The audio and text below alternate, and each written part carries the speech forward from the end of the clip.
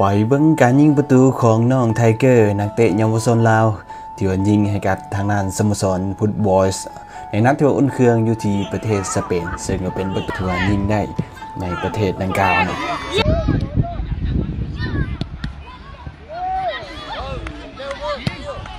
โอ้ย เข้าแล้ว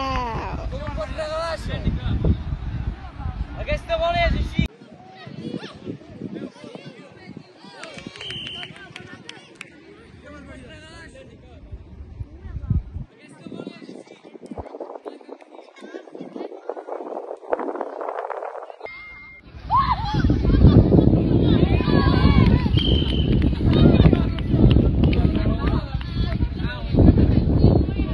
ถือว่าเป็นการเตรียมพร้อมที่ดีเนาะก่อนที่เราจะลงแข่งขันตัวจริงในวันเสาร์นี้ที่ว่าจะพบกับทางด้าน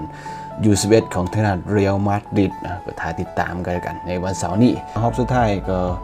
มีบาร์เซโลนาเจ้าภาพและก็เรอัลมาดริดเป็น 2 ตัวเต็งใหญ่ ซึ่งก็มี 48 ทีมเข้าร่วมแบ่งออกเป็น 8 กลุ่ม กลุ่มละ 6 ทีมนะส่วนดาวฟุตบอลก็อยู่ร่วมสาย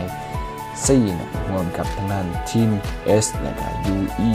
f o r n e l แล้วก็จะมีไนเซ่บาร์เซโลนานี่เป็นทีมห้องนะแล้วก็จะมีแล้วก็มี JE Star นะถึงวันแข่งขันเพิ่นก็จะดำเนินไป 3 วันก็คือ28 29แล้วก็ 30 ก็จะจบการแข่งขันลงเนี่ยติดตามกันเลยกันเพราะจะมีการรายงานให้เป็นต้นเนืองต่อเนื่องกันเลยเนาะ